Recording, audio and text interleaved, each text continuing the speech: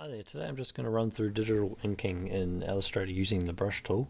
Um, I'm pretty much just going to run through my preferred settings for uh, drawing over a penciled line work and um, yeah, I highly recommend that you have a Wacom tablet to do this, otherwise a lot of the settings probably aren't going to be relevant.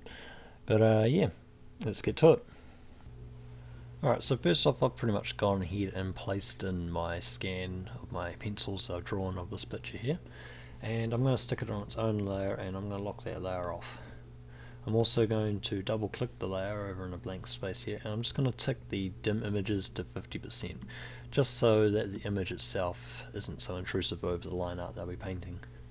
Um, now I'm just going to add a new layer above that and this layer will be the one which we will be drawing our line art onto. Alright so next off we're just going to go and set up our our brush tool for um, so it's suitable for um, doing some digital inking. The um, default settings are actually quite um, quite silly, really.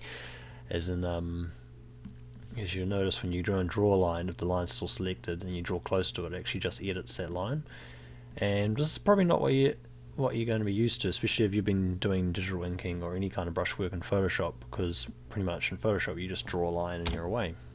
So to stop it doing this, what we're going to do is we're going to come over to our brush tool here, and we're just going to double click on it, and we're going to just untick a few, untick one thing which will stop doing this, and that's that edit selected paths there. That's what's making the um, brush edit the selected line every time you go and do another stroke. So I'm just going to tick that off, and that pretty much fix anything, everything. Um, all these other settings are pretty suited just to keep default. Um, fidelity just determines the amount of anchor points that are going to be put in your line. Um, the lower the value, the more anchor points. Um, smoothness will smooth the line out, but um, I tend to like to keep it at zero because that way you just keep the natural line which you are drawing. Um, so I'm just going to go ahead and press OK. Um, now we're going to go and um, set up our brush. the brush dialog box is usually found next to the swatches on the side and I'm just going to select this three point round one on the side here and I'm just going to double click it to bring up the um, brush options um, first off, I'm going to change that to 2 point and I'm going to hit this little drop down thing here and change it to pressure. That way we'll get line variation depending on how hard we press our tablet pen down. Um, if you're doing this without a tablet, you're not going to get line variation. Um, I'm also going to put the variation up to 2 points so we can get a really thin to thick line. So I'm just going to go ahead and press OK and we're away to next step. Alright, so if you're new to using a Wacom tablet, you're going to find it's going to be a bit of a learning curve for you. Um, it takes a while to get used to using your tablet and um, drawing lines and such, but uh, the more you do it, the better you'll get at it. So pretty much we're just going to go ahead and we're just going to draw out um, the part of the skull here. And you'll notice that um, I'll get line variation depending on how hard I press the brush. So if I lightly touch it, it's going to have a really thin line, and if I press down, it's going to go thicker. This is good to um, determine areas where light will be showing more, and a thicker line will probably determine where a shadowed edge would be. But um, yeah, pretty much just go ahead and draw out your, your picture. You don't have to be too fussy about it.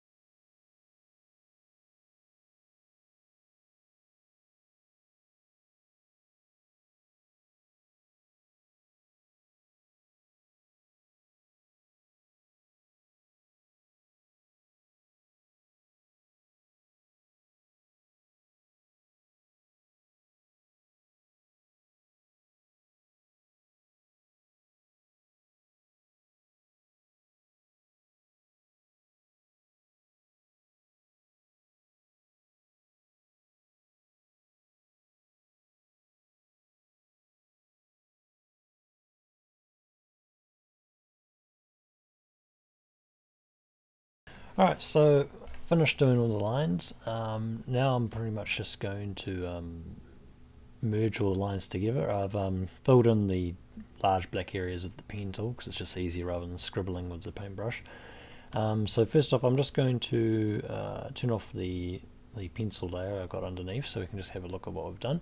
And now I'm just going to select everything, go Control A. And to merge them all together what we're going to do is we're going to come up to Object and just hit Expand Appearance and then go Object Expand and just hit OK and then we're going to come over to our Pathfinder dialog box. If you can't find it on the side, it's found under Window Pathfinder. And we're just going to hit the merge button at the bottom here, and they'll merge our shape, our lines into one single shape, like so. Alright, so now we're just going to clean up the um, color information on this. Um, as you notice, our fill is reading question mark, which pretty much means that um, uh, there's some stray colors in there which do not match up with everything else. So what we're just going to do is we're going to come up to Object, Path, and Clean Up. And we're just going to hit OK, and that should fix it up. Um, they'll only fix up as long as you have you haven't used any like white uh, fills or anything uh, yet.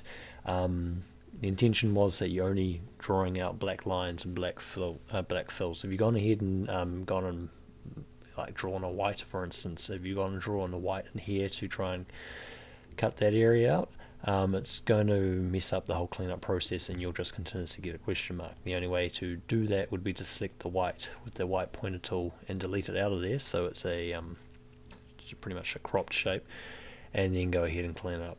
But yeah, now we can go ahead and change the color of that if we really want to. We can make it pink or black or whatever, white, yeah, whatever you want. And uh, yeah, that's pretty much it. Alright, so that's the um, uh, pretty much to run through on how to use the paintbrush tool to do your digital inking. Um, it's entirely up to you whether or not you use the paintbrush tool or you just use the pen tool. I I prefer to use a combination of the both. Um, I know a lot of people prefer the uh, cleaner look of the pen tool, but I find it's incredibly time consuming. Where compared to the brush tool and a Wacom tablet, you can just nut out one of these drawings in 10-15 minutes easy. Um, so yeah, I'll I'll be I'll post up a, uh, part two to this uh, tutorial, and um, pretty much I'll run through how to add color to this. Uh, I've got some pretty pretty nifty tips which people would find handy, and uh, will speed up the whole coloring process. And uh, yeah, so keep a keep an eye out for that. Um, subscribe; they'll come up in your feed if you do. And uh, yeah, have a good day.